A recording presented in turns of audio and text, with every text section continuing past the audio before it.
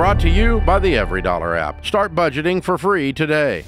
Uh, I'm wondering if you have advice for me. I uh, uh, I have about 7.8 million in financial assets, with the bulk of it uh, six million in tax deferred IRAs, 401ks, and 403bs.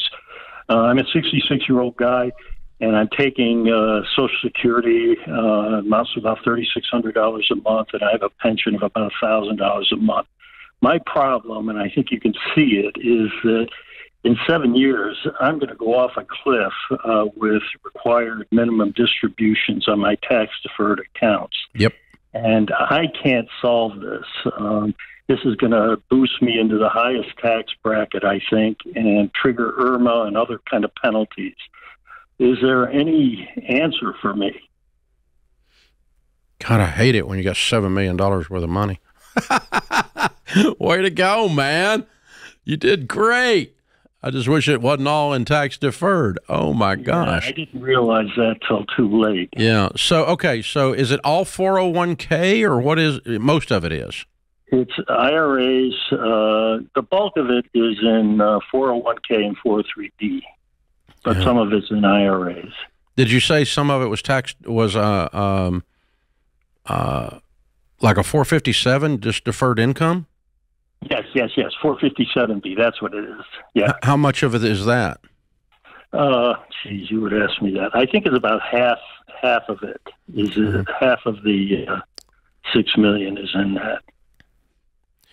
So the extreme answer that's probably that is not the answer, but this is helping me run the math while I'm live here on the air with you, is if you just moved it all to Roth, you would pay taxes on all of it now. In one fell swoop. If you did. I'm, I'm not suggesting that. I'm just trying to work that through in my head because that's basically going to cost you about 30 cents on the dollar. And so that's going to cost you like two, two and a half million dollars. Yikes. And that leaves you $5 million 100% tax free and 100% tax free growth from now on. And when you leave that money in the estate, there won't be any tax to your heirs because it's in a Roth. Inherited traditional becomes taxable, of course, to the next generation because you hadn't yet paid taxes on it. And of course, Roth has no RMD. Mm-hmm. Right. So that's the extreme. That makes me want to shoot somebody when I think about two and a half million dollars going to the oh stupid government. Uh, so that's not my answer, but I'm trying to think through. That solves all of the problems, except the one, except the two and a half million dollar problem, right? Yeah, yeah. So is there some iteration off of that where we get the enough of it out of, and we take enough pain that we get the RMDs down? Or do we want to just bite the bullet and be done and rip the band aid? Oh, that's so harsh.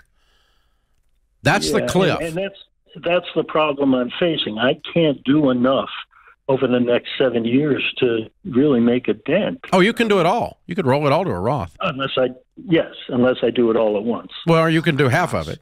I mean, you, you can do you can do enough. You're just going to pay taxes on it. Yeah, yeah, yeah. That's no no penalties, just taxes.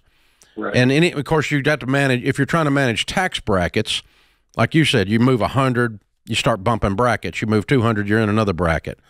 Right. You know, and so you're start you get into bracket creep, and that's why it's pretty much going to be thirty percent because it, that's what you're saying. You can't do enough at a low tax bracket. Right. That's what I meant to get to, to do any good. No, you can't. That's the other one end of the spectrum is you get slaughtered the other end of the spectrum is you bleed to death a drop at a time. Oh gosh. You know? And that that's that's, that's God, that is an interesting I'm not disagreeing with your guy. You are heading for a cliff. You can stop it, but the the the antidote is very painful. Uh, I don't know what to do.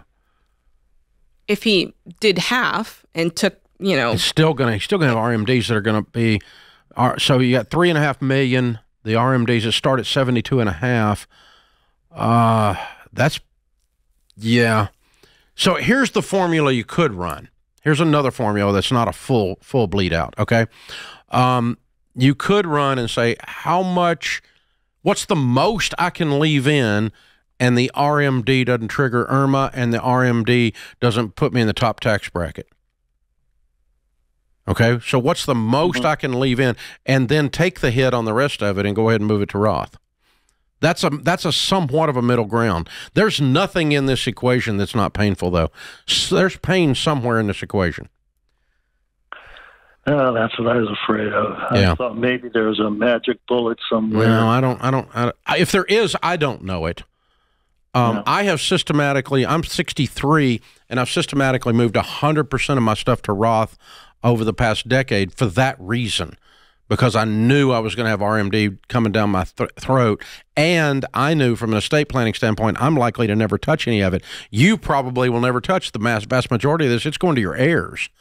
And so you've got another problem if you go the RMD route is your heirs are going to mm -hmm. get mm-hmm. this tax problem. Uh, shoot. Because the inherited IRAs and under the new stinking Biden rules, they're going to make them take that money and uh, like five years or it's either five or 10 years. They got to pull it all. Yeah. You can't leave it. It's worse than RMDs. Inherited IRAs have required distributions on them now. Wow. That's more that they're more than the RMDs, a lot more um, the Secure Act. That's yeah, what that that's Biden right. crap was called.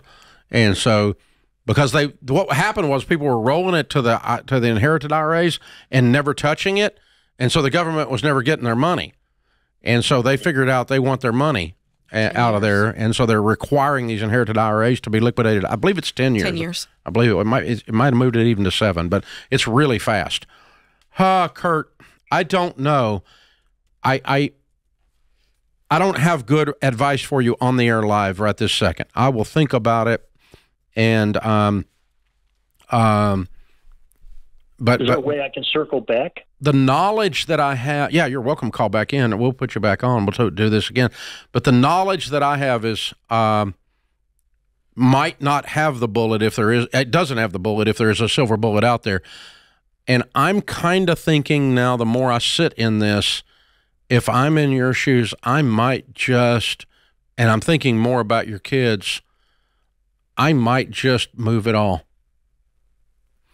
I might watch the election and see what happens with uh, tax rates after the election because Trump had lower tax rates in than Biden does on people like you and me because uh, we're evil and we must be punished. We've built wealth.